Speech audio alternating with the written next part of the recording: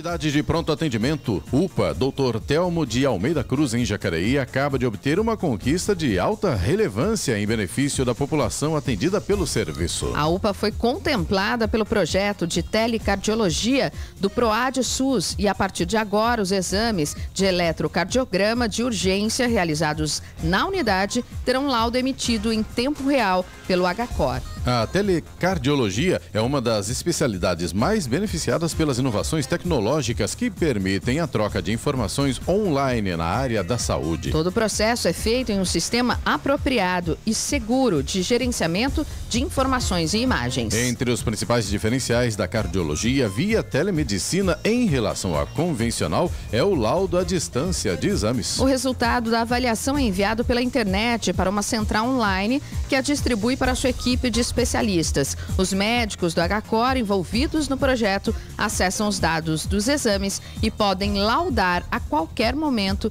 e de qualquer lugar. O programa de apoio ao desenvolvimento institucional do Sistema Único de Saúde, PROAD-SUS, tem o objetivo de apoiar e fortalecer o SUS em parceria com o Ministério da Saúde.